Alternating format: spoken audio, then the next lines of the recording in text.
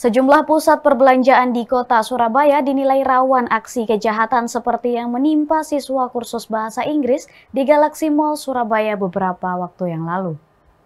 Ada sekat-sekat untuk anak-anak baju kreasi di badan pun Kemudian, terima kasih Bapak Ibu sekalian. Jadi kita uh, sepakati bersama Komisi D DPRD Kota Surabaya menggelar hearing dengan pihak Galaxy Mall terkait aksi kejahatan yang menimpa siswa kursus bahasa Inggris di Galaxy Mall Surabaya beberapa waktu lalu.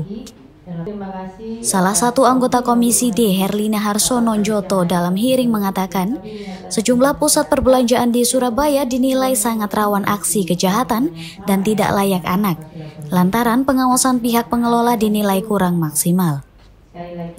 Herlina mengatakan belum ada langkah yang konkret dari pihak Galaksi untuk menindaklanjuti kasus ini. Selain itu, SOP keamanan juga harus diperbaiki lagi.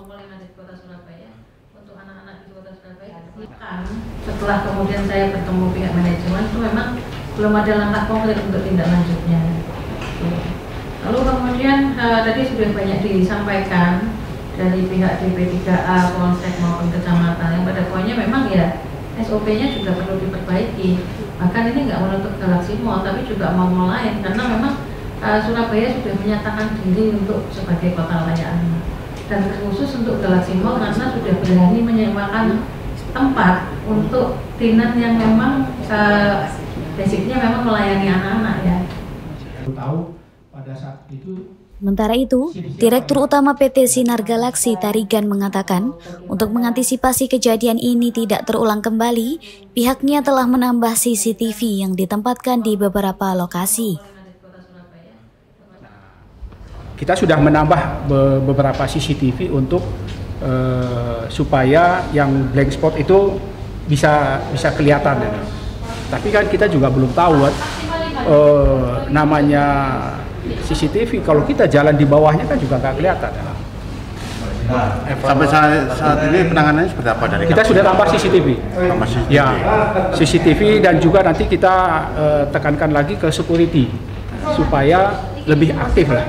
Jangan uh, hanya berdiam aja, hanya melihat dengan mata, tapi mobile. Selanjutnya akan dilakukan kembali koordinasi antara Dinas Pemberdayaan Perempuan dan Perlindungan Anak dengan seluruh mal yang ada di Surabaya untuk dilakukan pembenahan manajemen. Uh, catatan yang uh, pengingat ya catatan dan evaluasi banyak kemudian yang harus diperbaiki. Dan terima kasih atas waktunya untuk menghadiri rapat pada siang hari.